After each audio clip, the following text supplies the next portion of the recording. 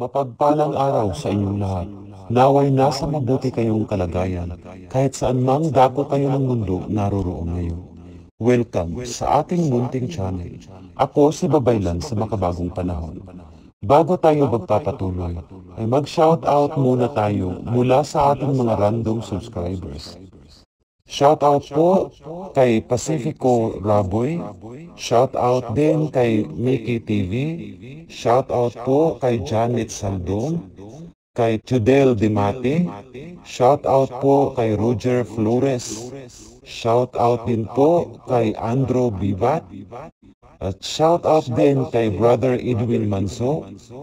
Kay Bro Alvin Juliano. Kay Bro Loving Biso Giladuga at kay Brother Bruno Morales. Maraming maraming salamat po sa inyo at sa lahat ng mga subscribers natin na patuloy sa pagsusubaybay. Ang aking ibabahagi sa ngayon ay tungkol sa taladro ng UX. Pero bago ko po ipagpapatuloy, kung ngayon ka lang napadaan sa aking munting channel at gusto mo ang mga ganitong usapin, ay pindutin lamang ang subscribe button at notification bell icon upang lagi kang updated sa aking mga bagong video.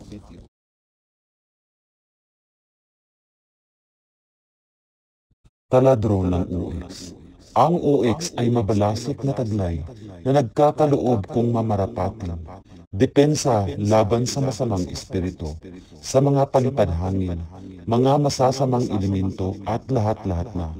Subalit, ang magtatanga ng kapangyarihang ito ay nararapat magsisisi sa lahat ng mga kasalanan at magbalik loob sa Diyos at Panginoong Heso Kristo.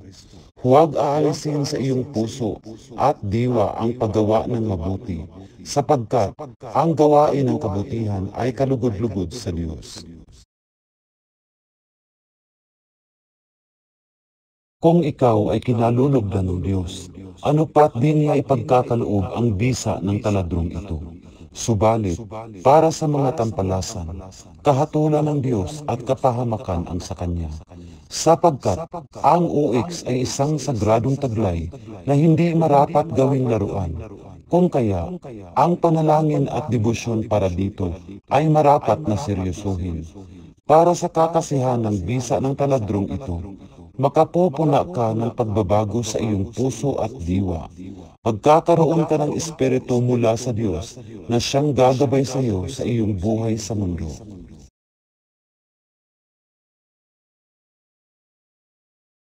Ang OX ay nagpaparusa sa mga masasamang mga kaaway at mga kalaban ng kusa.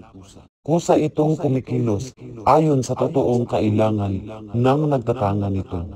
Huwag pangahasang gamitin sa di marapat, sapagkat kusa din itong nagpaparusa sa mga sampalasan.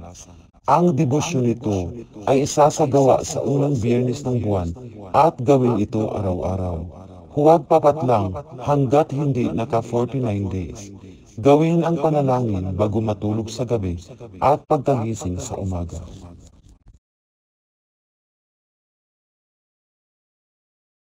Matapos ang 49 days na araw, ay maaaring debosyonan ito tuwing Martes at Biyernes na lamang. Tangi lamang ang mga totoong lingkod ng Diyos ang hindi tinatabla ng UX sapagkat Diyos ang siyang nagtatanggol sa kanila. At dahil dito, ang pagtigal po sa lingkod ng Diyos ay pagtigal po na rin sa Diyos. Kung kaya, walang mintis na paparusahan ang mga sinumang maligal po sa lingkod ng Diyos. Para naman sa masasama, ang OX ay nagbibigay ng parusa at kahatulan at panganib sa mga tampalasan. Magdasal ng isang ama namin at isunod ang panalangin ng UX.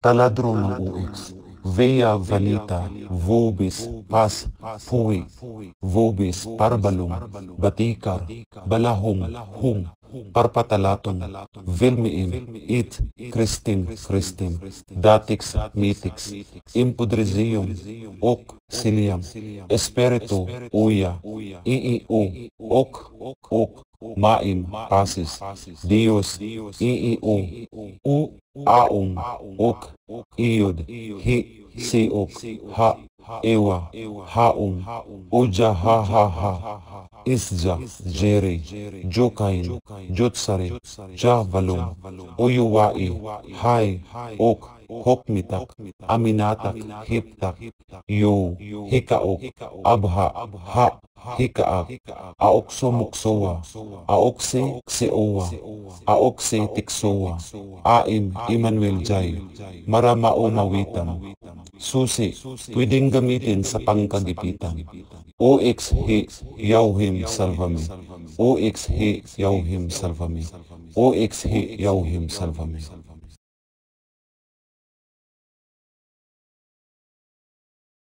Pagkatapos dasalan ng 49 days, ay kailangang dasalan tuwing Martes at Biyernes. At sa oras ng kagipitan, ay pwedeng banggitin ang susi na lamang sa oras ng pangangailangan.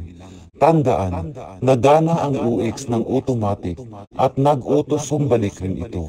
I-print lamang ang taladrong ito at laging dalhin at pwede nyo ring ipalaminate at ilagay sa inyong altar. Ang taladro ng UX na ito ay subok ko na at ito ang isa sa mga tinatawag ko bago ako mag-spiritual kumbati.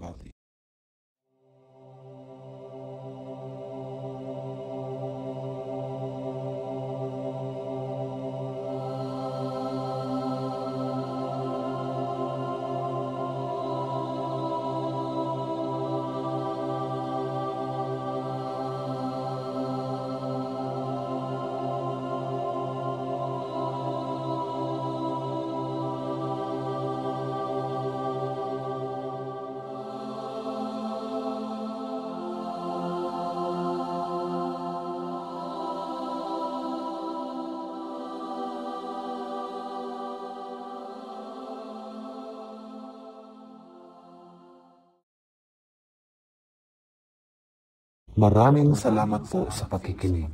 Sa mga nagnanais o gustong madagdagan ang kaalaman tungkol sa ganitong usapin, ay mag-subscribe lang po at i-click ang bell icon para sa aking mga features upload.